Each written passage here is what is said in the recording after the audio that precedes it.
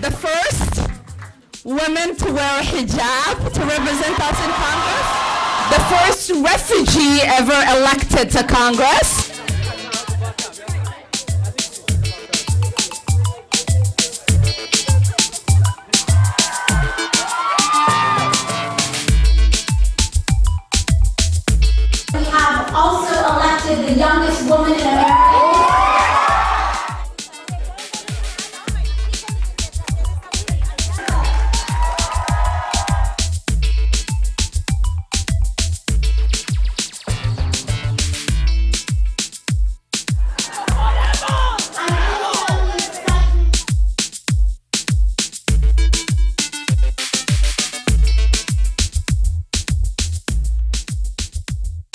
Let's make our country better. They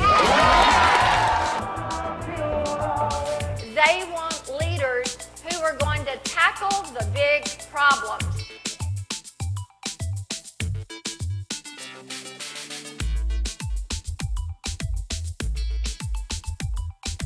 Um, you know, it's just been inspiring. Woo!